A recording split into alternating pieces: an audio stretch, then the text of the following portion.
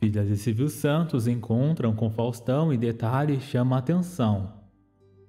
As filhas de Silvio Santos, a então Rebeca Bravanel, que recentemente se casou com Alexandre Pato, Patrícia Bravanel e Daniela Beruti, aparentemente elas foram em uma loja de São Paulo, que parece que é uma loja de bolsas e acessórios, e acabaram encontrando com o apresentador que faz a alegria de todos os domingos.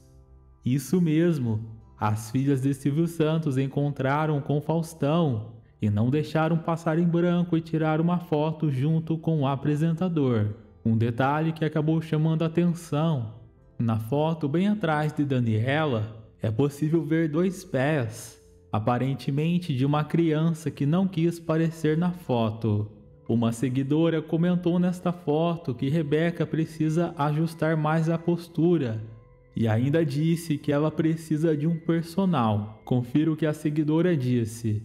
Eu acho a Rebeca linda e simpática demais, mas precisa de um personal para ajustar a postura comentou uma seguidora na postagem.